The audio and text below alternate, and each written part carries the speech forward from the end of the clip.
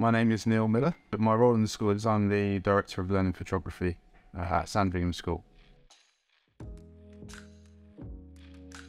I've been a head of department here at the school for five years, um, which involves leadership and, and middle management. Um, I think obviously taking the next step into senior leadership is a, a really important decision.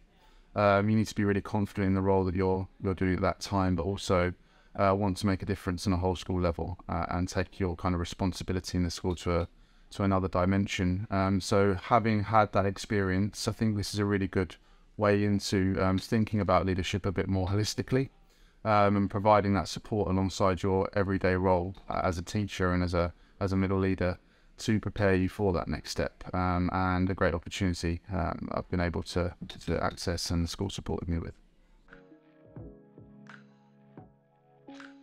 Think the varied nature of the way that you interact with is the course. Um, there's a you know an element of self-study, which is nice if you're quite independent and you like to kind of move through things at your own pace. I think the sort of requirements in terms of assessment are quite varied, so you can kind of showcase your progress in a, in a wide range of different ways. There are you know good supports online in terms of um, performance coaches, people you can touch bases if you've got any questions, um, and they're very you know accessible and ready to help. But I think today's face-to-face session and meeting like-minded individuals, those that are thinking about the next steps in their career, and kind of bouncing ideas off of them and and finding out more about you know the other contexts that people are working in uh, fundamentally is helpful in thinking about your own future and, and the next steps.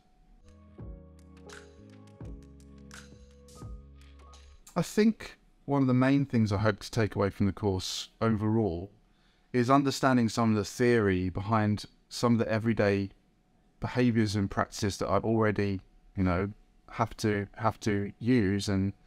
implement as part of my role as a middle leader. I think sometimes we're just, you know, acting off of instinct. It's a very busy profession.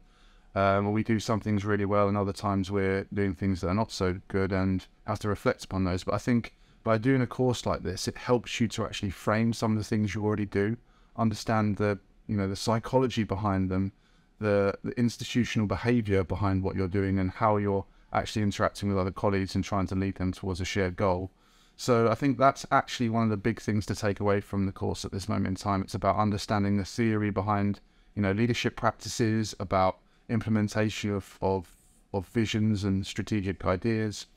and really thinking about the process of doing so more clearly, um, rather than doing things a little bit more instinctively and without that kind of knowledge uh, that you sometimes do when you're, you know, in the maelstrom of everyday teaching.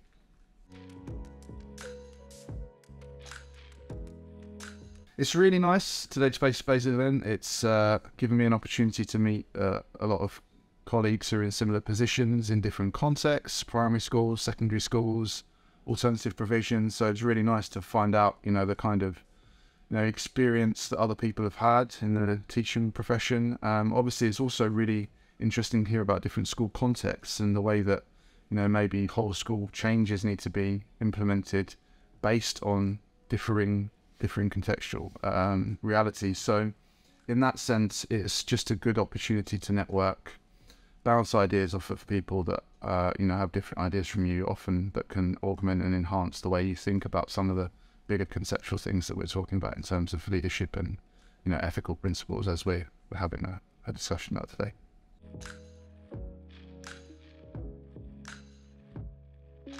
So yeah, we've had a sort of online meeting, and the two things I would say that were really good about uh, meeting the the leadership performance coach were one, there were a group of people together um, who all had different perspectives of the initial um, induction phase, all had different questions about you know what they had to do in certain contexts or how to interact with some of the resources, and obviously coming with your own questions, but also hearing other people's questions. Um, provided a nice sort of platform to get to grips with the kind of opening of the course and and kind of seamlessly moving into this first cycle that we're in now. I think also having a discussion with a, a real person uh, and being able to sort of vent any frustrations you have with the start of the course, but also um, get some clarity on you know what is expected of you and what you your you know what you need to do to kind of you know engage with the course the course most effectively. I think Um, that was the best thing to take away from it, and the LDR was really, really supportive and uh, and helped uh, helped with that.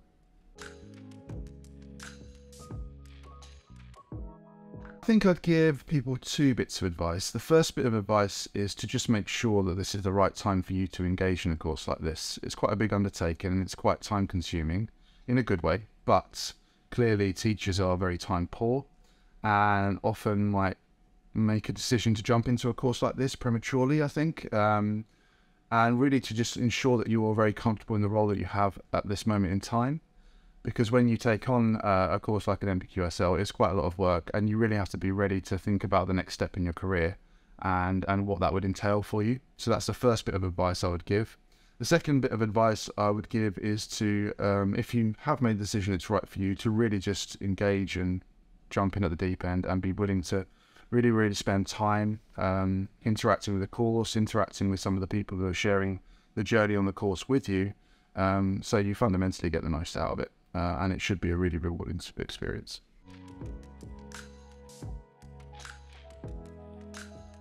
I think one of the things that will, ways this will benefit the school is if they feel that there might be uh, members of staff who are undertaking qualifications like this during that time it might be good to get them on board with some of the whole school initiatives that they're attempting to implement.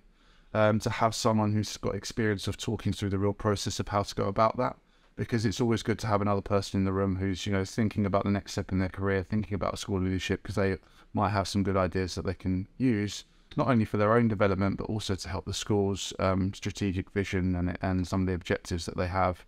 Um, that would be one you know really good outcome from this. I think the second, obviously, for some um, people undertaking the course is that hopefully they are, you know, skilled enough to take up some of those assistant head roles or leadership roles, so that they can, you know, give back to the school what they've uh, ultimately uh, believed that they had in them, and that is, um, you know, the ability to to make a difference on a whole school level by giving them the scholarship to to take up this this course.